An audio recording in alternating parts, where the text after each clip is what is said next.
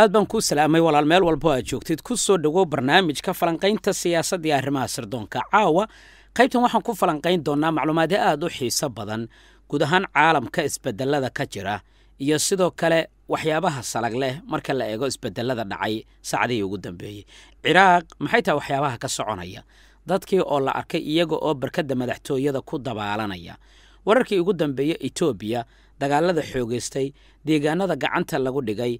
iyo tigreega oo u muuqanaya inay dadaalkooda laba jibaarayaan abiya axmed oo kaalmo militari u dhaqaaqay iyo arrimo kale oo muhiim ah ayaan qaybtan ku falanqaynaya waxaan ku horumari doonnaa ciraaq iyo waxyaabaha ka dhacaya.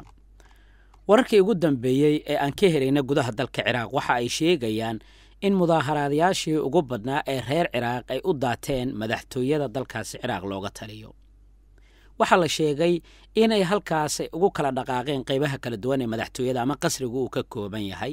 Qaarkood waxaa la arkay iyaga oo ku dabaalanaya barkadii ku dhex taalay qasriga madaxtooyada. Qaarkood waxaa la arkay iyagoo gudaha u galay dhismihii madaxtooyada.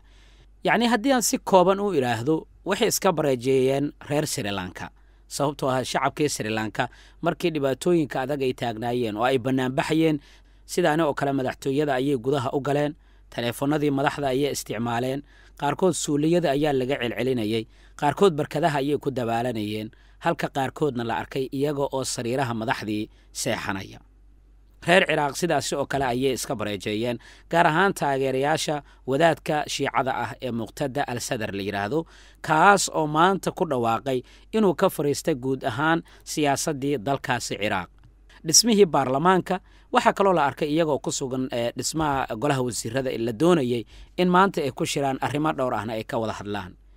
Ra'iisul wasaaraha dowladda ciraaq mustafa alkaadimi wuxuu mudaaharaadayaasha uu ka codsaday inay ka soo baxaan aagga loo yaqaano green zone ama aagga cagaaran oo magaalada baqdaad ah halkaas waa goobta madaxtooyada ama qasriga loo daatay ay ku taallo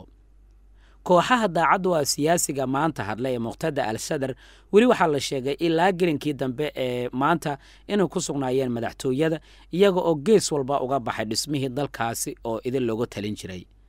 Arrinta mudaaharaadayaasha ay ku galeen aqalkaasi madaxtooyada waxay timid kadib markii maanta uu hadlay siyaasiga caanka ah ee muqtada al sadar la yidhaahdo kaas oo ku dhawaaqay in gebi ahaanba uu ka fadhiistay siyaasaddii dalkaasi ciraaq.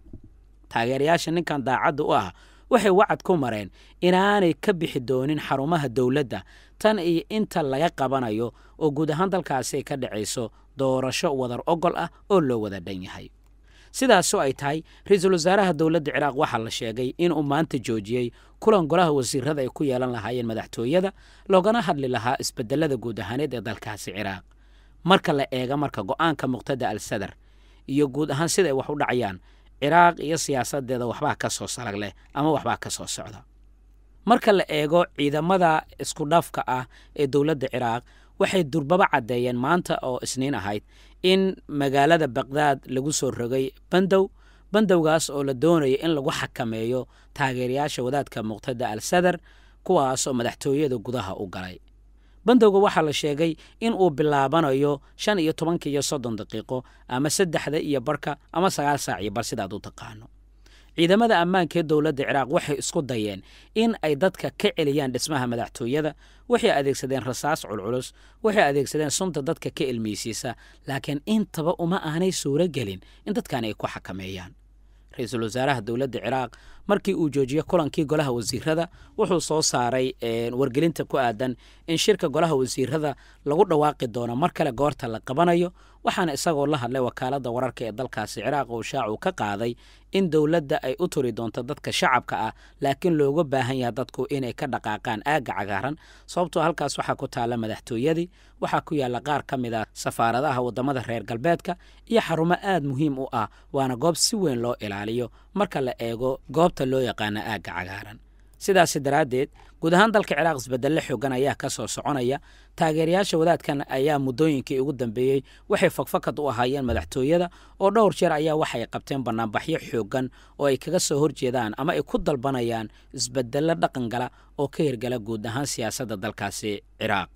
Marka la eega marka xaaladda sida ay tahay caawa ciidamada ammaanka ee dowladda ciraaq ayaa weli waxay samaynayaan howlgalka ay doonayaan in ay ku xakameeyaan dadka bannaanbaxa dhigaya. Ciidanka ugu badan ayaana la sheegay in ay xireen buundada jamhuuriya iyo sidoo kale buundada loo yaqaana alsinaag oo ku taala bartamaha magaalada baqhdaad waxaa sidoo kale la xiray waddooyinka soo gala dhismaha xarunta telefishinka qaranka ee dalkaasi ciraaq iyo xarumo kale oo muhiim ah iyada oo dadka laga baqanaya in sidoo kale goobahaasi ay tagaan. Sidoo kalena xaaladda sida iminka ay tahay si ka duwan ay kaga dhawaaqaan dhanka warbaahinta iyo telefishinkaba. Ciidamada ammaanka ayaa hadda waxaa la sheegay in ay xaqiijinayaan ammaanka madaxtooyada iyo agaarkeeda waxaana dadka shacabka ah la sheegay in ugu dambeyn lagu guulaystay dhismahaasi in laga saaro. Walow warbaahinta qaar ay baahinayso in weli xarunta baarlamaanka ay ku jiraan dad badan oo banaanbaxayaal ah kuwaas oo gudaha u galay dhismaha madaxtooyada gelinkii dambe ee maanta. Sidaani oo kale hore ayay u dhacday laakiin waa lagu guulaystay in dadka banaanbaxa ee taageerada u ah muqtada al sadar laga saaro guud ahaan dhismaha madaxtooyada. Laakiin markan waa markii labaad oo sidaasi ay dhacdo la arki doonay guud ahaan waxyaabaha ka kordha dalkaasi ciraaq iyo dhibaatooyinka ka taagan. Etoobiya haddii aan eegno dagaalka ka soconaya dalka etoobiya wuxuu u muuqanayaa inuu sii xoogeysanayo sababtoo waxaa la leeyahay dagaalkan dib u qarxay maalintii arbacada guuldarrooyin culus ayay gaarsiinayaan ciidanka dowladda federaalk ee etoobiya saacadihii la soo dhaafay marka la eega siday wax u socdaan t b lf ayaa ku gacan sarraysa dagaalka ciidamada tigreega ee t d f loo yaqaano laba maalmood waxay ku qabsadeen magaaladii saddexaad. Waxay ku sii siqayaan gobolka amxaarada oo ay ka dagaalamayaan maleeshiya taageersan dowladda iyo ciidanka dowladda federaalk ee etoobiya oo iskaashanaya. Maalin kadib markii ciidankan gacanta ay ku dhigeen magaalada koobo tigreega ayaa sidoo kale xalay la sheegay inay qabsadeen deegaanka robert loo yaqaano iyo meel ku dhow magaalada woldhiya saddexda magaalaban waxay ka tirsan yihiin gobolka amxaarada magaalada robert ma ahan magaalo muhiim ah ama istaraatiiji ah oo waa magaalo iska yar laakiin waxay u dhexaysaa koobo iyo woldhiya hase yeeshee abiy axmed waxaa la sheegay in ay walaacin doonto qabashada magaalada muhiimka ah ee waldhiya oo hadda la sheegay inay gacanta u gashay ciidanka tigreega. Koobo iyo waldhiya waxay isu jiraan konton kilomitir taasi waxay ka dhigan tahay marka laba maalmood gudahood in tigreegii ay soo jireen dhul baaxad leh falanqayaasha arrimaha militariga ee geeska afrika waxaa la sheegay inay si weyn kaga yaaban yihiin sida fudud ee ciidanka dowladda federaalk etoobiya cagta loo marinayo. Sidoo kalena looga qabsaday magaalooyin muhiim ah oo koobo iyo agagaarkeeda ah. Marka la eego sida ay wax u dhacayaan ra'iisul wasaare abiy axmed wuxuu ku sugan yahay dalka aljeeriya waxaana wararka qaar ay sheegayaan inuu kaalmo militari uu weydiisan karo dowladda dalkaasi aljeeriya aljeriyana waa dalka labaad ee ugu militariga awoodda badan marka laga qaaradda afrika tiro dad ah oo si rasmi ana loo ogeyn ayaa ku dhintay dagaalka gobolka tigree tan iyo markii uu bilowday bishii nofembar ee sannadkii laba kun iyo labaatan. Xabajoojintii la gaaray bishii maars ee sannadkan waxay hakisay dhiiggii qubanayay taasi waxay u ogolaatay si tartiib tartiib ah in loo gaarsiiyo gobolka oo qaramada midoobey ay sheegtay in malaayiin qof ay halisa ugu jiraan macluul tan iyo dhammaadkii bishii juun dowladda abiy axmed iyo mucaaradka ayaa dhowr jeer waxay sheegeen inay doonayaan inay galaan wadahadallo nabadeed balse waxay isku raaci waayeen qodobada qaar oo wadahadalladaasi ah. Maalintii arbacada dagaallo xooggan ayaa dib kaga soo bilowday gudaha dalkaasi etoobiya laakiin dagaalkaasi wuxuu si gaar ahaaneed uu kaga bilowdo woldhiya wararka kale aan helayna waxa ay sheegayaan in fariisan ama deegaanka lagu magacaabo shiraaro oo ka tirsan gobolka tigreega in dagaallo adag galabta ay ka dhaceen dagaalkaas waxaa la sheegay inay isku garabsanayeen ciidanka militariga eritrea iyo kuwa dowladda etoobiya waxaanay weerar ku qaadeen goob ay ku sugnaayeen ciidanka jabhadda t b lf gaar ahaana magaalada shiraaro oo gobolka tigreega ka tirsan. Magaaladan tan iyo shalay ayaa la hadalhayay in ciidamada eritareyaanka ay soo galayaan dagaal culus ayaana la sheegay nawaaxiga shiraaro. Labadii maalin ee ugu dambeeyey inuu ka dhacayay. Ciidanka tigreega waxaa kaloo ay sheegeen in si weyn iskaga caabiyeen. Weerar ay sheegeen inuu kaga yimid ciidanka isbahaysanaya ee eritrea iyo etoobiya. Shiraaro sagaashan kilomitir ayay u jirtaa ama sagaashan iyo shan kilomitir qiyaastii ayay u jirtaa magaalada shire oo aan ognahay ahmiyadda gaar ahaaneed ee magaaladaani ay leedahay iyo sidii sannadkii laba kun iyo labaatan sida weyn loogu dagaalamay magaaladan ma jiro wax waroo ka soo baxay dhanka eritrea iyo dhanka etoobiya oo lagu xaqiijinayo in ciidamada eritareyaanka ee toos ay kaga qayb galayaan dagaalada soconaya gaar ahaana kuwa ka dhacaya waqooyiga gobolka tigreega gurmad aad u xoogan ayaa lagu waramaya inay helayaan ciidanka dowladda federaalk ee etoobiya ciidamada maleeshiyaadka ah ee hubaysan oo gaadiid tiro badan lagu soo daabulay. Ayaana u muuqanaya inay gaarayaan furumaha hore ee dagaalka. Xaaladdu aad ayay u sii cuslaanaysaa waxaana muuqanaysa mar walba in isbeddel uu dhici karayo. Waxyaabaha ka soo kordha guud ahaan etoobiya barnaamijyadeenna kale ayaan ku ogaan doonaa insha allah. Markaana aan eegno dowladda sweden waxay daaha ka qaaday in ay taageero xogan oo dhanka milatariga ay siin doonaan ciidanka dowladda ukrain ra'iisul wasaaraha dowladda sweden ayaa kadib markii la kulantay wasiirka arrimaha dibadda ee dowladda ukrain waxay ballan qaaday boqol milyan oo dheeraad ah oo la siinayo ciidanka milatariga ee dowladdaasi ukrain iyo sidoo kale dadka shacabka ah soo kabto dhibaatooyinkii xooganaa ee ka dhacay gudaha dalkaasi ukrain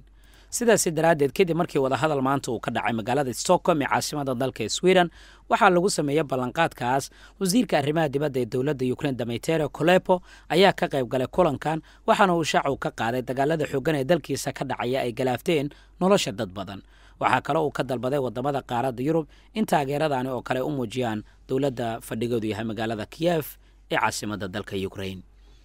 ugu dambayntii wararka naga soo gaaraya gudaha dalka libiya waxa ay sheegayaan in nin caan ahaa oo komediyan ahaa ama shactiroolo ahaa isaga oo filim duubaya bartiisa instagram-kana u duubaya in lagu dilay magaalada tripoli ee caasimada dalka libiya halkahaasoo isku dhacyo xoogan ay ka dhaceen maalintii shalay. Ilaa iyo soddon iyo laba ruux ayaa ku geeriyooda magaalada tripoli dagaaladii ugu dambeeyey ee ka dhacay magaaladaas kuwaas oo la sheegay inay galaafteen nolosha dad badan oo rayda. Mustafa baraka waxaa si weyn looga yaqaanay barta instagram-ka ee reer libiya waxaana lagu warramayaa in ninkan shactiroolaha ah mid ka mid a rasaastii ay isweydaarsanayeen dhinacyada dagaalamaya inay haleeshay sidaas daraaddeedna uu ugu dambayntii u geeriyooday. Falanqayntii siyaasadda iyo arrimaha sirdoonka qaybtan waa naginta falanqaynta intaan xigtay inta aan ku kulmi doona nabadgelyo